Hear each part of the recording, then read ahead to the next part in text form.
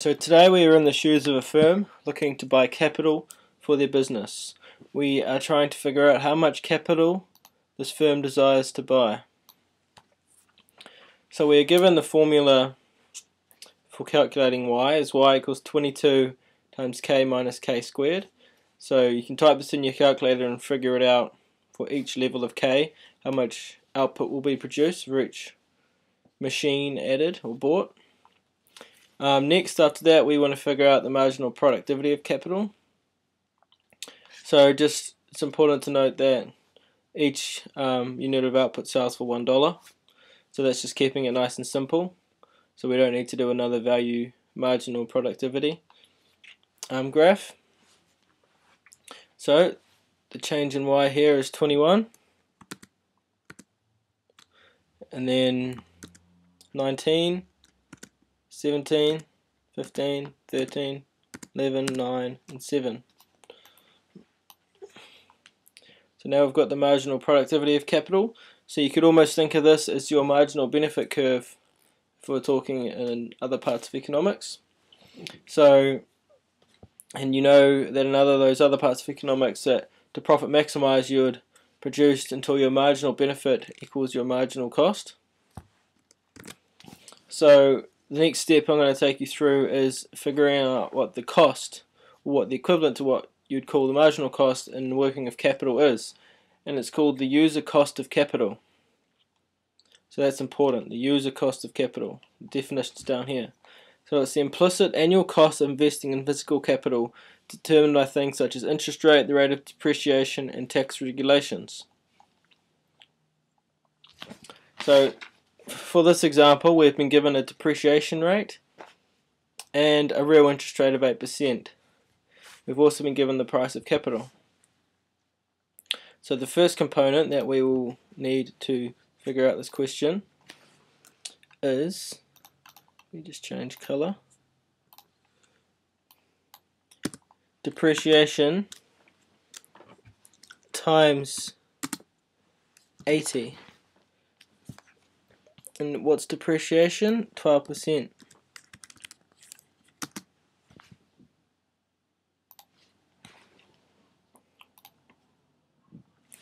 So for each unit of capital is $80. So it's $80 to buy each one of these units. So to buy one it's $80, to buy two it's 160 So anyway, so for each unit it's $80 and it depreciates in one year by 12%. So this is a cost. So when we're figuring out the user cost of capital, we must include this. So what else must we include? We must include the opportunity cost. What else could we be investing our money in? And if we know that the real interest rate on the market is 8%, we could be getting an 8% return. So,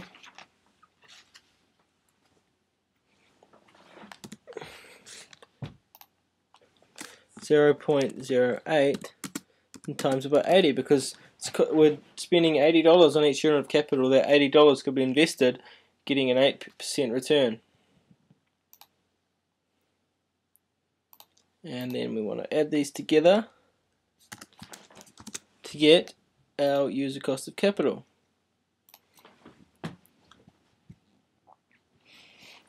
Um, so if we were to write this formula out, that's the price of capital times D plus the price of capital times R. So we'll call it UC if we use the cost of capital. So this is the formula we've used above. Slightly different order, but same formula.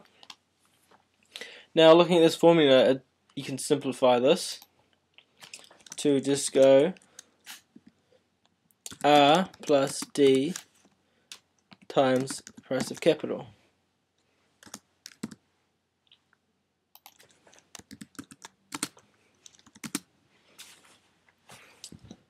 Um, so yeah, that's a simplified version of the formula. In, a, in other examples, you may be asked to take also into account tax but in this example we have not been given any tax, um, capital tax rate, so we will not add that into our user cost of capital. So, calculate how many units the firm desires. Actually, before we do that, I will calculate what this equals. We have 0.12 plus 0.08 equals that times 80 equals 16.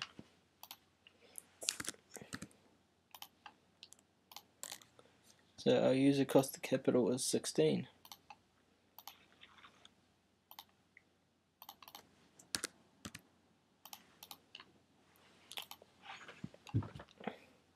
Okay, before I continue on to figure out the answer, move across to this graph over here.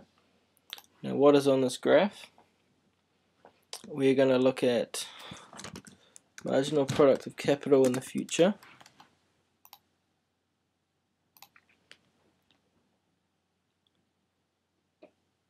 And the x-axis we'll look at the amount of capital bought.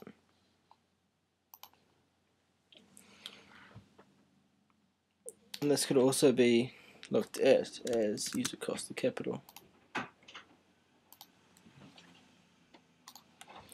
So we now know that the user cost of capital is 16. So we can draw across a straight line.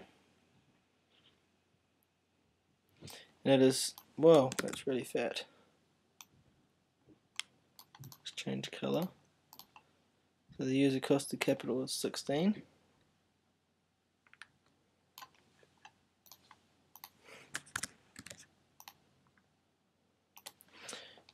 And the marginal product of capital is these figures here. So you need to plot these all on the graph to determine your curve. Um, we'll just go like this. So this is our MPK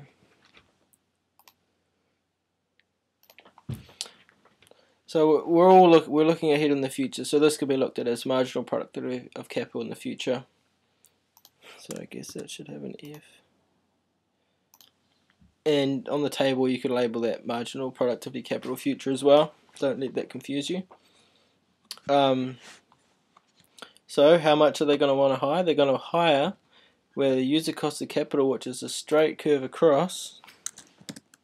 Let me just label it user cost of capital is equal to the marginal productivity of capital, the benefits of getting that of having that capital. We can draw this on the graph at this point here. And this is how much capital is desired. So this can be labeled K star.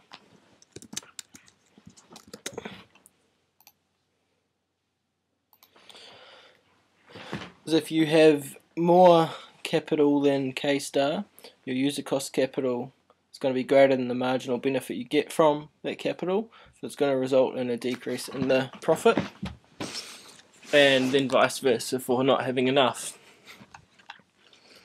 So what we're trying to figure out is K star. So looking at the table, if the user cost of capital is 16, um, we're going to want to keep getting more workers until user cost of capital equals MPK. So we get zero workers, one workers, two workers. We can go from two to three workers and it adds 17 of benefit. So we're going to hire three workers. But we're going if we go from three workers to four workers, we're only going to get 15 benefit. So the answer is three workers.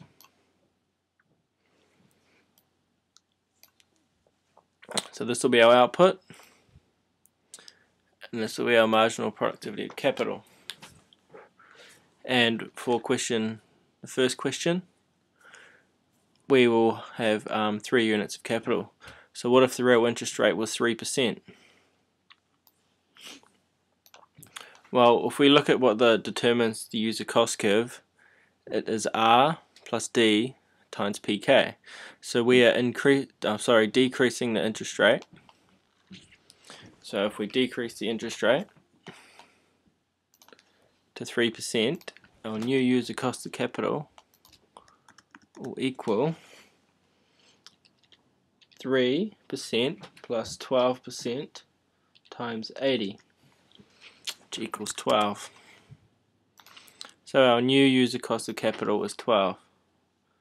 Let's change this to this color. So to show this what's happening on the graph, this here is decreasing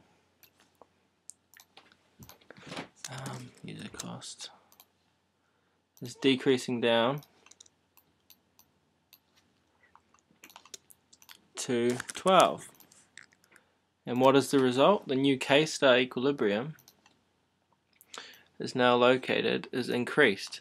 So we know now that our new what we figure out will be an increase in capital to the new K-star up here. So when user cost of capital is equal to MPK and our user cost of capital is 12 we will continue producing until we get 5 units of capital.